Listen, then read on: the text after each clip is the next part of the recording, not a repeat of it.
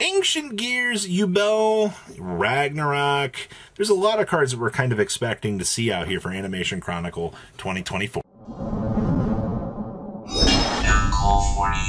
Sure you guys smash the crap out of that subscribe button so you guys don't miss out on more awesome content. I'm, I'm really hoping that honestly Ragnarok is in this set. Activate only while there is any two Dark Sage, Dark Magician, Dark Magician Girl, or Magician of Black Chaos on the field.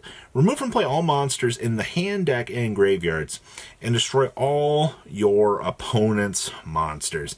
Many of you might be familiar with the events and power of Ragnarok as this card was used to crater the winged dragon of Ra and the power of the magicians. It was actually, they need to make a card, and the power of the gods was the only thing that they could do to do it. Next up here is Fiend Rose. After activation, this card becomes an equip card that is equipped to a monster you control. The equipped monster cannot be destroyed by battle, and you take no battle damage from battles involving the equipped monster. If this card is removed from the field, destroy that uh, monster. I'm gotta love the selection of trap cards out here that are just kind of available to really consider for options. We've also got Zero Hole. Activate only when an opponent's effect monster effect activates when it is summoned. Negate that effect, and if you do destroy that monster, can we can we change this to be a trap hole? Because I actually think that there could be some potential for the idea behind this card to be able to just be a trap hole esque card. Sorts of effects like this are actually kind of worth exploring. Then we have Zero Sprite.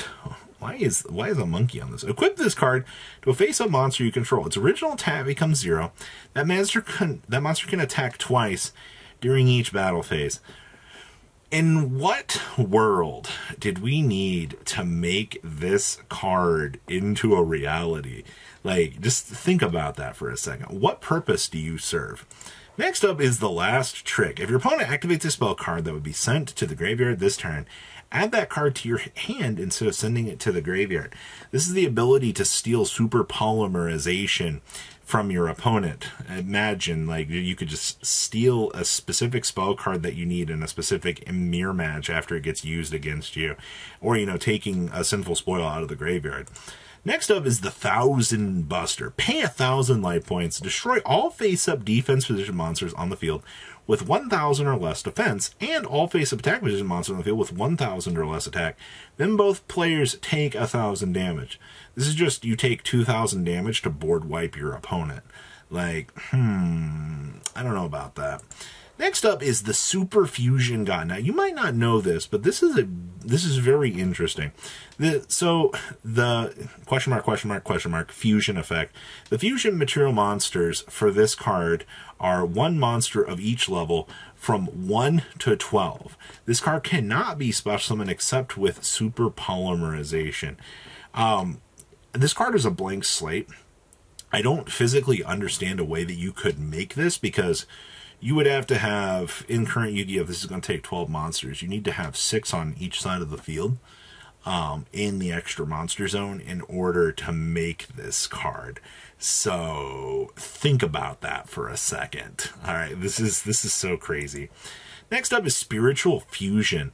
During the turn you activate this card, if your opponent conducts a fusion summon, you can choose the fusion monsters used for the fusion summon imagine if if the extra deck was actually larger and you could control your opponent with sorts of options with this or if if you could make the polymerization misfuse like this this would be kind of cool next up is piping pipes Oh, we have the Melodious stuff here. While this card is equipped to a Melodious monster, your opponent cannot target monsters for attacks except the equipped monster.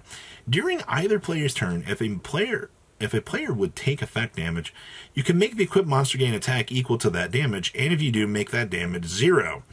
That is so hilarious for an interaction for, okay.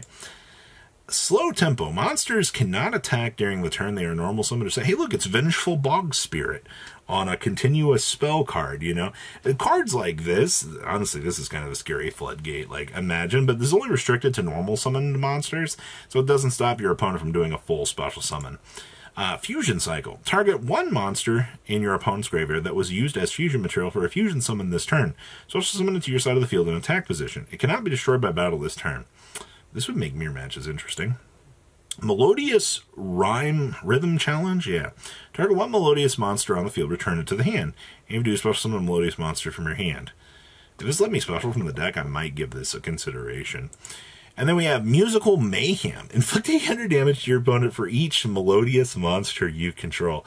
This is garbage. I would not be caught dead playing this. Now, we have ancient gear cards. This is the stuff I'm curious about. Crazy Summon Gear. Select one face up monster your opponent controls and one monster in your graveyard with 1500 or less attack. Your opponent must special summon up to two monsters from their deck with the same type and level as that selected monster. You must special summon your selected monster and all other monsters with the same name from your hand deck or graveyard. So your opponent must special summon up to two. So if they can't special summon at all, and you just pipe out all of this ancient gear stuff, this is potentially I, I could see this being a very real card.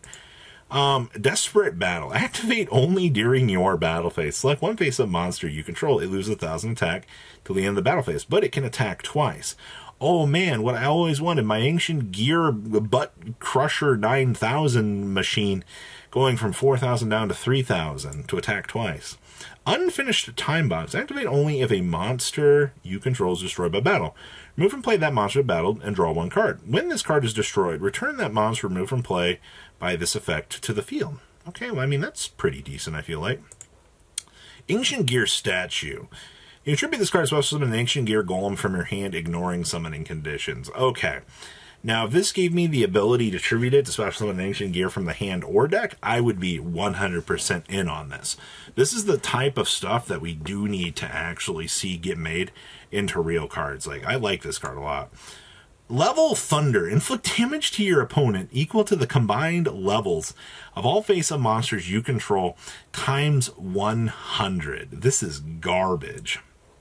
Ancient Armageddon Gear. If a monster on the field is destroyed, inflict damage to your opponent equal to that destroyed monster's attack on the field.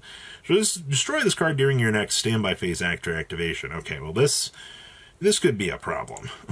Ancient Gear Double Imitation. Target up to two Ancient Gear monsters in either graveyard. Special summon them to your field, but they have their effects negated. No! Why?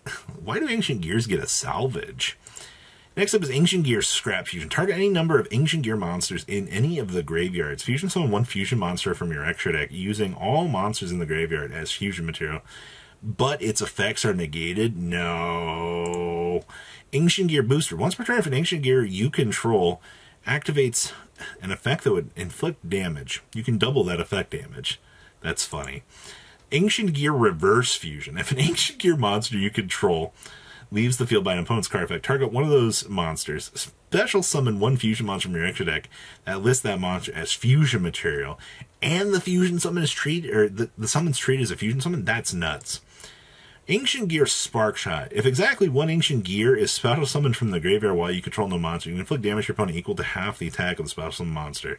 I guess it's a ping 15. Fusion Dispersal. When a fusion monster declares an attack targeting target that attacking monster, return it to the extra deck if you do end the battle phase. Then, if all the fusion materials are listed for that fusion summon monster in the graveyard, special summon all of them to your opponent's side of the field and then inflict damage to your opponent equal to the attack that the fusion monster with the highest attack your choice if tied. That's kind of dumb. Fusion Trench. Monsters cannot attack except fusion monsters. Oh, that's broken. Once returned, if the controller of a fusion monster did not normal summon or fusion summon, or special summon a non-fusion monster this turn, one fusion monster they control can attack directly.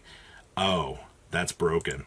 Oh, a double Ancient Gear Hunting Hound. An Ancient Gear Hunting Hound plus an Ancient hunt, uh, Hound Hunting Hound. If this card attacks, your opponent cannot activate spell and trap cards until the end of the damage step. During either player's turn, if a monster is or monster monster is normal special to your opponent's side of the field, you place one gear counter on that monster, max one. At the start of the damage step, if a monster with a gear counter battles, you destroy that monster. Oh boy, we're getting into alien support here. And then we have the oh, we have the triple ancient gear hunting hound. It's triple copies of this card. This card can make up to three attacks on monsters during each battle phase. If this card attacks, your opponent can activate smaller trap cards till the end of the damage step. Okay. Then we have the ultimate Ancient Gear Hunting Hound. It's a triple plus an Ancient Gear monster. When fusion summoned, your when your opponent's life points is halved. This card can make three attacks on uh, during each battle phase. If this card attacks, your opponent can activate smaller trap cards. This is four monsters to make, but it's got 2,800 attack points and it has your opponent's life points. Um, wow. Interesting. To say the least. A lot of interesting stuff back here for Animation Chronicles. Please leave a comment down below. Tell me what you guys think. See your beautiful faces back. You learn day, guys. Patrons! Thank you! Ah!